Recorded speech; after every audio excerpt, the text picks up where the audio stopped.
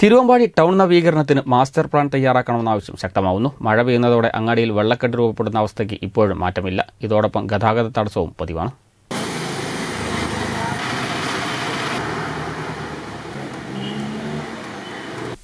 Thiruvambady town നവീകരണത്തിന് master plan തയ്യാറാക്കണമെന്ന ആവശ്യമാണ് ശക്തമായി ഉയരുന്നത്.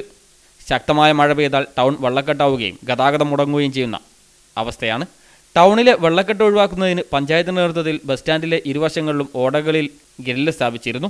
ഇത് ഒരു പരിധിവരെ വെള്ളക്കെട്ടിന് പരിഹാരവുമായിരുന്നു. എന്നാൽ ശക്തമായ മഴയിൽ റോഡിലൂടെ ഒഴുകിയെത്തുന്ന വെള്ളം കക്കുണ്ടിൽ നിന്ന് വരുന്ന തോട്ടിലേക്ക് ഒഴുകി പോകാൻ സൗകര്യമില്ലാതെ കൂടഞ്ഞ റോഡിൽ വെള്ളക്കെട്ടാവുകയും ഇത് ബസ് സ്റ്റാൻഡിലേക്ക് വ്യാപിക്കുകയും ചെയ്യുന്നത് ആവർത്തിക്കുകയാണ്.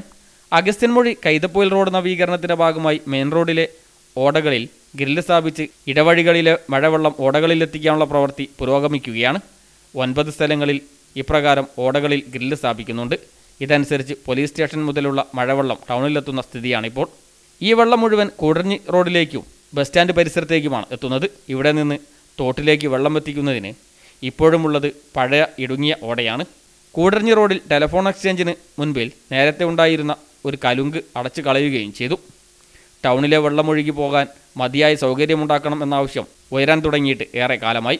തിരുവമ്പാടി ടൗൺ താഴ്ന്നു കിടക്കുന്നതുകൊണ്ട് മഴ പെയ്താൽ പരിസരങ്ങളിൽ നിന്നുള്ള വെള്ളം ടൗണിലേക്ക് ഒഴുകിയെത്തുകയാണ്. ഇതിന് പരിഹാരമായി ചേപ്പിലങ്ങോട് ഭാഗത്തേക്കും മെയിൻ റോഡിൽ നിന്നും വെള്ളം തിരിച്ചുവിടാനുള്ള സംവിധാനം ഒരുക്കുകയും നിലവിൽ ബസ് സ്റ്റാൻഡിന് പിന്നിലെ ഓട നവീകരിച്ച് തോട്ടിലേക്കുള്ള ഡ്രൈനേജ് വിപുലീകരണത്തിന് നടപടി സ്വീകരിക്കുകയും വേണമെന്നാണ് ആവശ്യം. ഇതിന് ശാസ്ത്രീയമായി മാസ്റ്റർ പ്ലാൻ തയ്യാറാക്കി അടിയന്തര നടപടി സ്വീകരിച്ചില്ലെങ്കിൽ ടൗണിലെ വെള്ളക്കെട്ടിന് ശാശ്വത പരിഹാരമാവില്ല.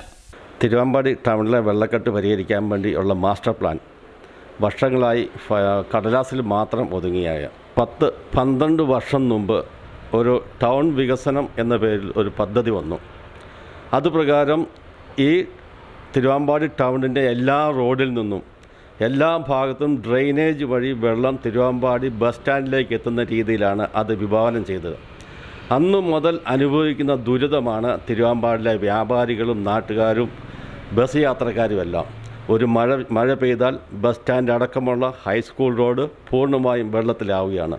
ഇതിന് പരിഹാരം എന്ന നിലയിൽ പല ഭാഗത്തു നിന്ന് തിരുവാമ്പാടി ടൗണിലേക്ക് കൊണ്ടുവന്ന ഡ്രെയിനേജുകൾ പല ഭാഗത്തേക്കായി തിരിച്ചു വിട്ട് പരിഹരിച്ചാൽ മാത്രമേ ഇതിന് ശാശ്വത പരിഹാരമുണ്ടാവുള്ളൂ.